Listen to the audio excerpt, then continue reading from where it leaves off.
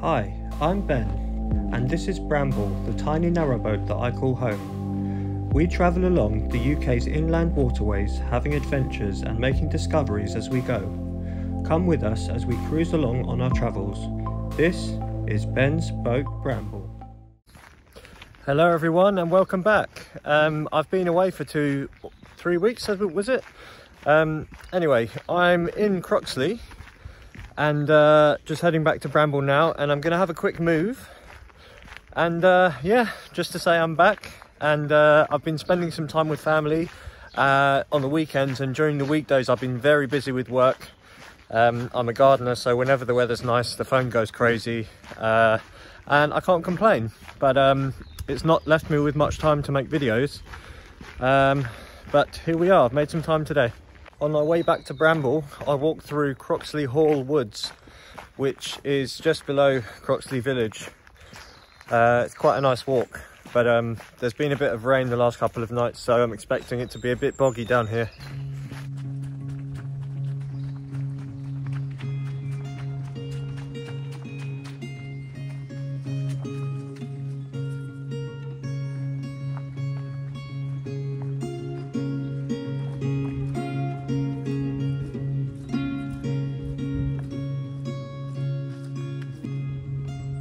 Hear a narrowboat behind the bushes.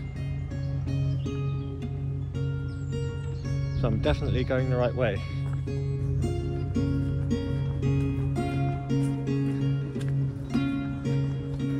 Being quite tall has its disadvantages. I, uh, I tend to get all the spider webs that shorter people don't get. So when you're first, when you're the first tall person walking through a place like this, you get quite a lot of spider webs in your face.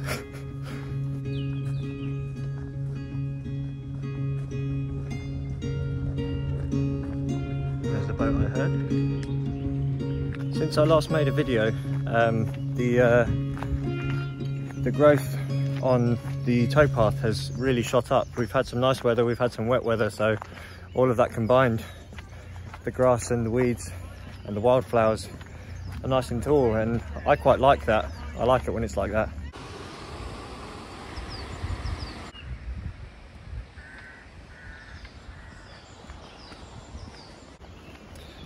So sadly, as much as I'd love to continue exploring north um, into unknown waters to me, um, unfortunately it's just not, um, what's the word?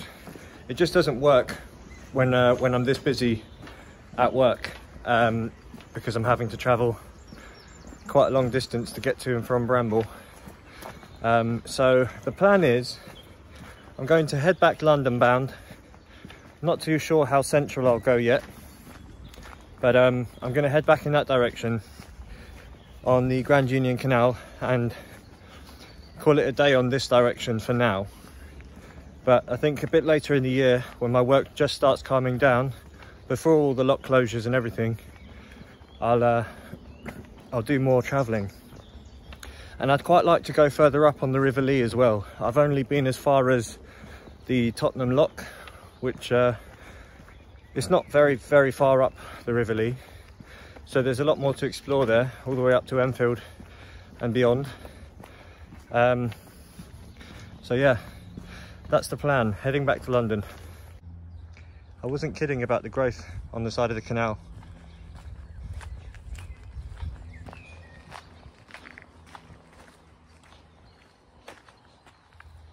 I know I said I'd be moving, but plans have changed. I just don't have enough time to move before I need to go and make an appointment. Um, so, and it's a really important meeting, so I can't miss it. So I have about half an hour to spare.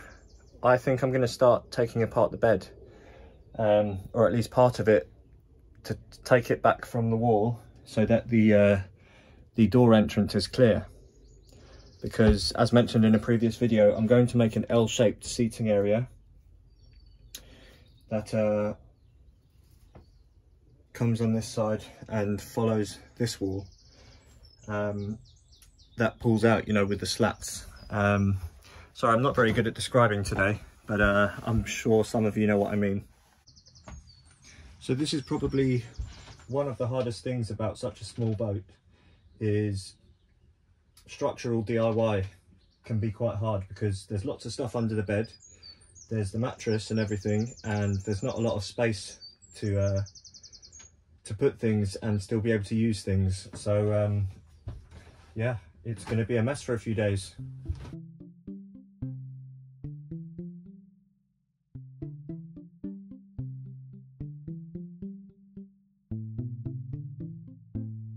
This is also a good opportunity for me to um, remember what's actually under the bed.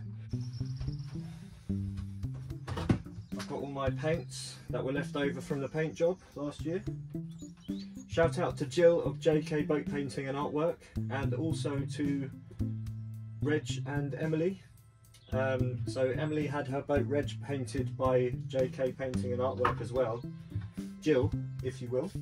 And uh, it's absolutely amazing. Um, if you can, if you're a fan of paintwork or boats or both, check it out. It's absolutely amazing. Um, the colours used are really bright. There's lots of different patterns and shapes, and uh, yeah, it's uh, it's a really beautiful boat. I loved it before the paint job, and I love it after the paint job.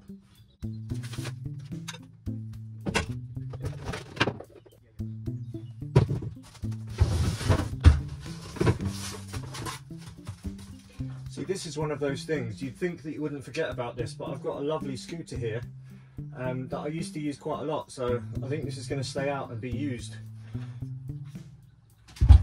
It's handy from getting to station, from station to station, or uh, you know, between transport links to make your journey that much quicker.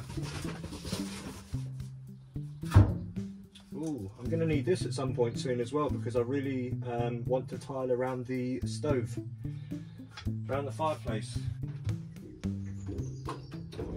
Okay, that's pretty much the space clear I need to start getting rid of this portion of the bed. Um, I'll bring you in a bit closer now. So I've made a lovely big mess already. Stuff everywhere. My Christmas decorations. Um, so yeah, I'm pretty much going to be taking it from here and having this space free no matter what the bed looks like afterwards, this space will be free so that I can easily access the door.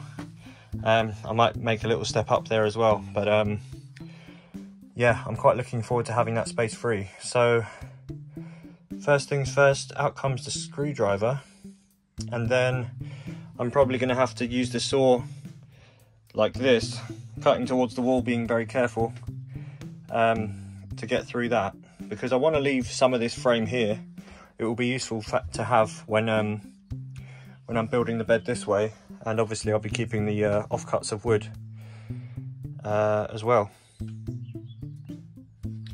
Okay, so I've got about 10 minutes left, so I'm going to find the screwdriver quickly. If I can remember where it is.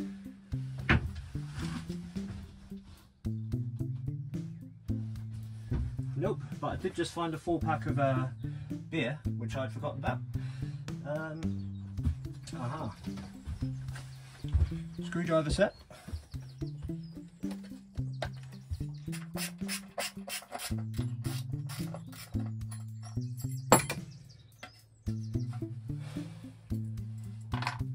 Right, how long have I got? I've literally got about five minutes.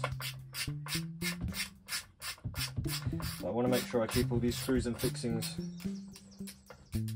to hand and that I don't lose any of them or chuck anything away accidentally because materials are expensive these days. Um, Buy Me a Coffee has really helped me out quite a few times.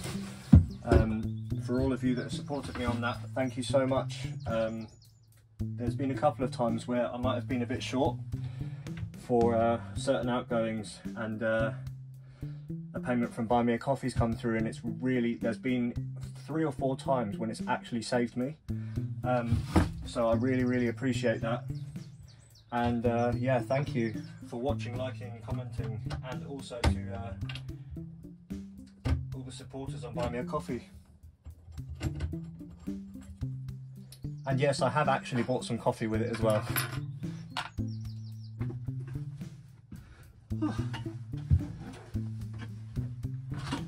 So as well as all the kitchen cupboards in this storage area.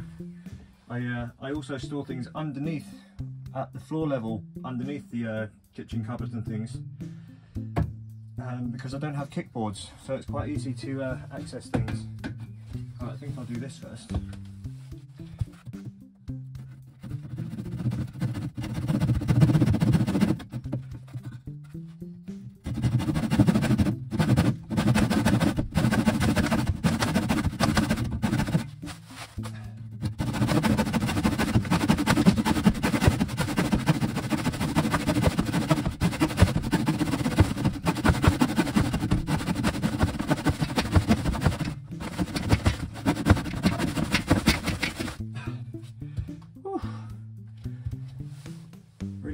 Arms. Right. So, it's now happening. I've made the first cut.